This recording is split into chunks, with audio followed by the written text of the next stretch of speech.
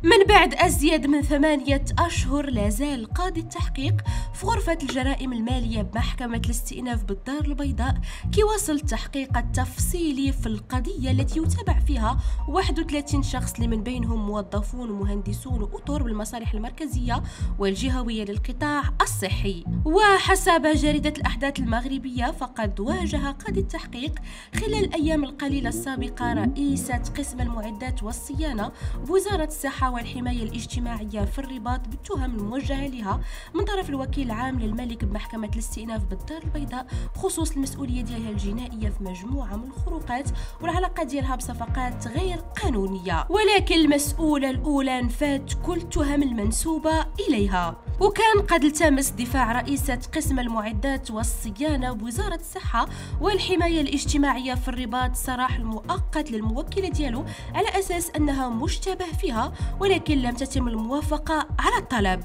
هذه القضية بدأت عندما أحال المكتب الوطني لمكافحة الجريمة الاقتصادية والمالية تابع للفرقة الوطنية للشرطة القضائية على أنظار النيابة العامة.